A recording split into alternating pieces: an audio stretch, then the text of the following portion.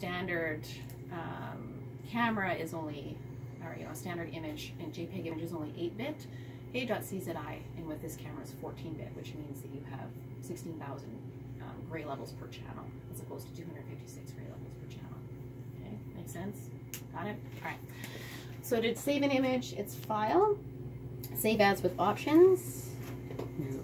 With options. Okay, so if you do the drop down there, those are all the different image formats that you can save it out as. Um, Carl Zeiss is sort of the CZI format is the default. Um, I guess whatever your IT manager says that you need to do in terms of directories of, of it being saved. Uh, IT manager. yeah, IT guy. Um, yeah, I, you know, whatever, save it to whatever folder is yours if you desktop or whatever. Okay, so that's pretty straightforward. Okay, and then yeah, cancel out of this unless you want to save it.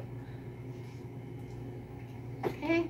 Uh, anything else? you wanna Yeah, so one quick, question. If Mm. we have um, slide, we set the exposure, change the slide to take similar pictures. Mm-hmm. Um, if we don't pre- press set exposure again, it's gonna keep the same parameters. Mhm. Okay.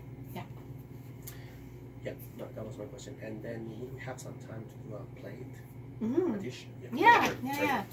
Okay, are you guys good for now? Everything makes sense? I'm gonna see your images on the cover of Nature.